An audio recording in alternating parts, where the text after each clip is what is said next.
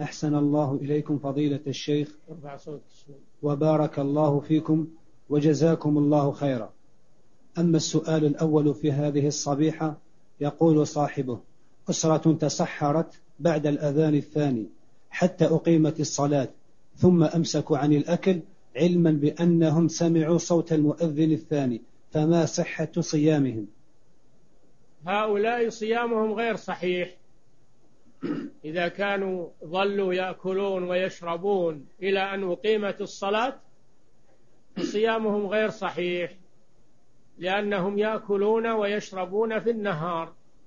وقد سمعوا المؤذن وكان الواجب عليهم أن يمسكوا وأن يصوموا لكنهم لم يفعلوا بل استمروا يأكلون ويشربون حتى أقيمت الصلاة.